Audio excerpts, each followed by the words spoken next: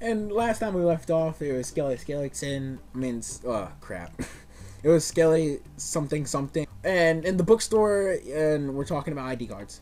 Oh wait, it takes people to figure it out. Fry must be in the top percentage of humans. Well, in addition to protection ID, well, protecting you from being eaten or unwanted advances. If you have one, you also get neat bonuses, like a check every month and a house at the age of 30 and you won't get married and you'll get married to a non-human. The government takes sure that you always got a job. So i don't really understand a lot of that junk or i'm just retarded. I think i'm retarded. So many benefits just risking your life. Humans are truly lucky. I wish to be able to go over there and see if your id is ready. Just it'll be just a second she returns less than half an hour later with a square no bigger than a credit card and a bag of muffins. She likes muffins, right?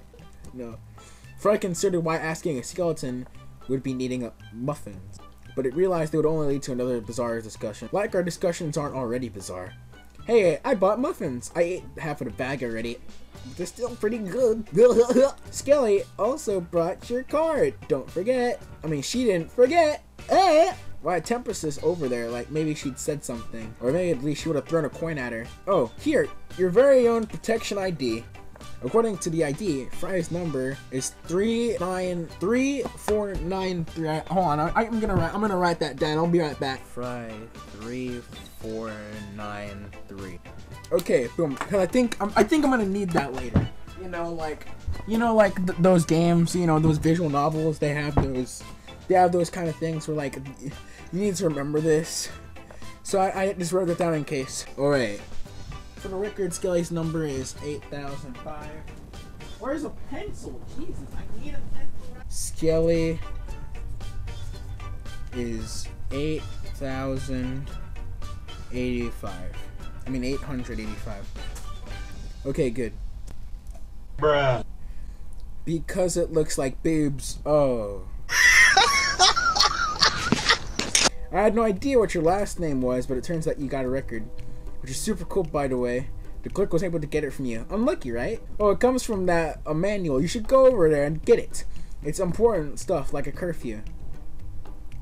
I guess it's goodbye for now. Aw. But it's really cool meeting you. We'd really end up getting some same classes. Cool. She was right. It was cool. She was cool. And her spurging had distracted him long to forget that he was talking to a real live skeleton. He dreamed that the day that he'd own his own undead army, and even if he doodled it in his straight notebooks. It finally dawned on that Fry was in an entire other world outside his one small town. The world was full of monsters and magical people. And the heart and the start of an adventure! And there's an oddly attractive skeleton woman willing to guide him the entire way. At the first time since the parents shifted him to this bizarre time, Fry smiled. He smiled and extended his fist towards her. Oh, what's this? You're not looking to fight, are you? I don't have the bone to pick with you. Oh.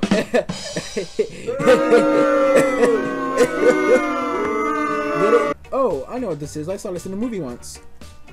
Are you saying that I'm, I'm, I'm gonna, I'm gonna do it? Wait, I should take my hair clip off first. It doesn't, so it doesn't explode. Explode. What? Here I go.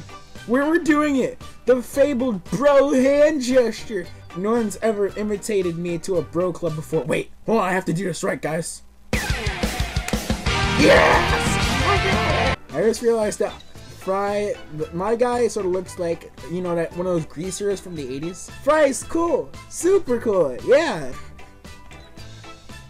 No. You're cool!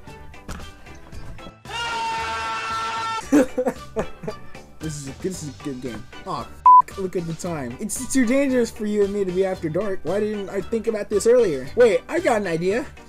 Just follow me, I'll solve the problem. This was her plan. To take me to my greaser home. What? Oh, love hotel. Oh, Fry, you gon' get it on, my dude. Uh, it was fine. It's fine. It's fine. Skelly's always got a room open in here. Skelly is my twin brother. Did I mention that already? Well, he is. Wait here, right here. So he did his absolute best to look cool leaning against the wall outside while waiting for her. Like we do. It was hard for not to stare at the couples entering the place. A bird woman and a human male. A cat boy and a human female. Some sort of octopus thing and a human couple. It was strange that he was more happy when she came back and dragged him to their room. Uh, oh. There's one bed. You know what that means. I told you I'd fix it. We'd lay low here until tomorrow we can take the bus to school. I couldn't do anything about the sleeping arrangements, however. Uh, don't worry, don't worry, Skelly. Uh, Skelly, I, I ain't got no problem with that. Don't worry, I'm too far tired to ravage your sleeping body. Or am I? Oh. No, no, no, way too tired. So if you have don't have any more questions, I'm gonna hit the hay. Uh, do I have questions? Uh, what should I do? What should I do? What should I do? You know I do, bonehead. Música